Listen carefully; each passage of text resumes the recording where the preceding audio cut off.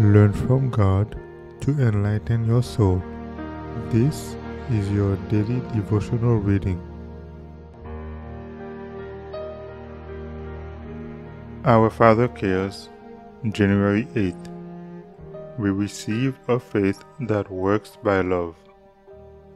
For in Jesus Christ neither circumcision availeth anything, nor uncircumcision, but faith which worketh by love.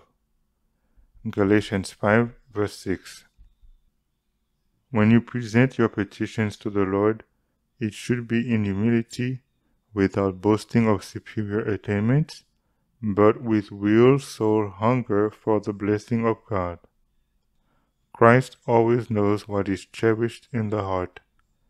We must come in faith that the Lord will hear and answer our prayers for whatsoever is not of faith is sin. Genuine faith is the faith that works by love and purifies the soul. A living faith will be a working faith.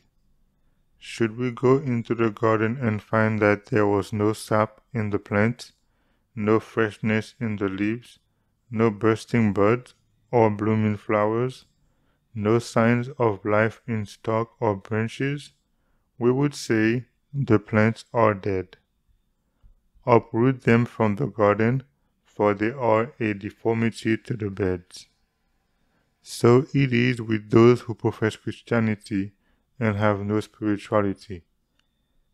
If there are no signs of religious vigor, if there is no doing of the commandments of the Lord, it is evident that there is no abiding in Christ, the living vine. Faith and love are the essential, powerful, working elements of Christian character. Those who possess them are one with Christ and are carrying forward his mission.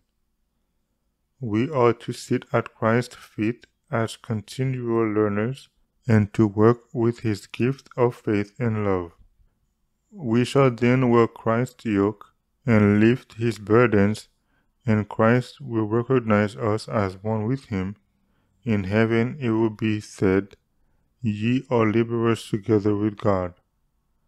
Will our youth remember that without faith it is impossible to please God? And it must be faith that works by love and purifies the soul. We cannot overestimate the value of simple faith and unquestioning obedience. It is by following in the path of obedience in simple faith that the character obtains perfection. Our Father Cares, January 8.